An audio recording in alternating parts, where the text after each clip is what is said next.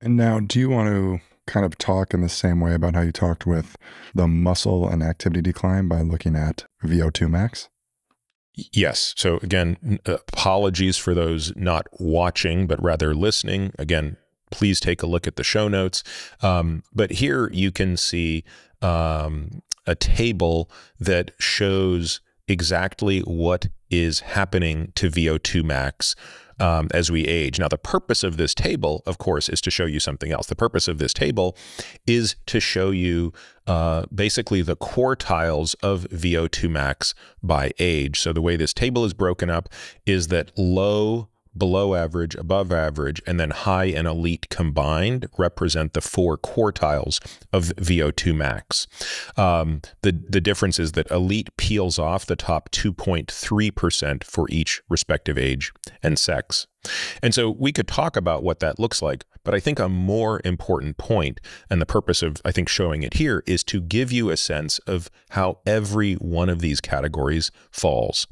In fact, what I think is most illustrative is to just look at the elite category. So again, these are the top 2.3% of the population. So, for example, if you look at a woman in her late teens, the top 2.3% would have a VO2 max greater than 53 milliliters uh, of oxygen per kilogram per minute.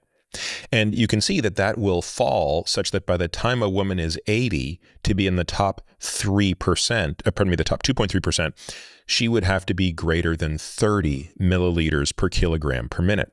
But what's interesting is 30 places her in the bottom quartile for the late teens. It would place her at about the 25th percentile for someone in her 20s.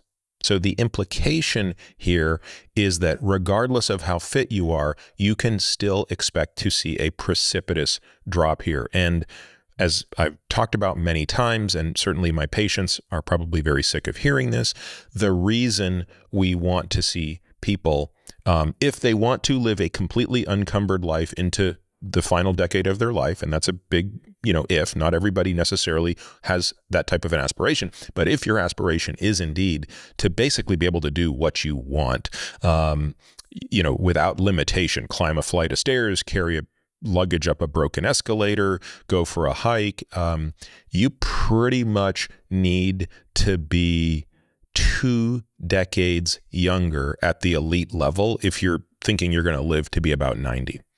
Um, so anyway, this hopefully provides some illustration of why that's the case.